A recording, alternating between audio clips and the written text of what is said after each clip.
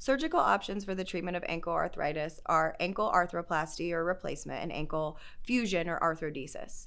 Ankle arthroplasty is a replacement of the ankle joint with metal and plastic, similar to a hip or knee replacement.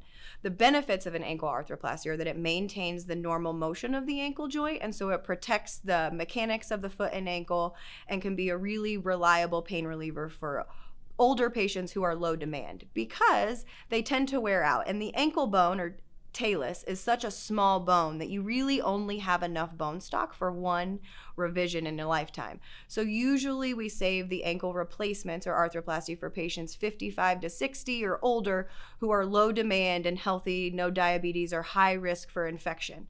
Because infections in a total ankle can be a pretty complex situation to have to deal with. So high risk patients are not great candidates for ankle arthroplasty. Ankle arthrodesis or fusion is where we actually trick the body essentially to think that the ankle joint is a fracture and get it to heal bone straight across. So you would lose all of the up and down motion of the tibiotalar or the ankle joint.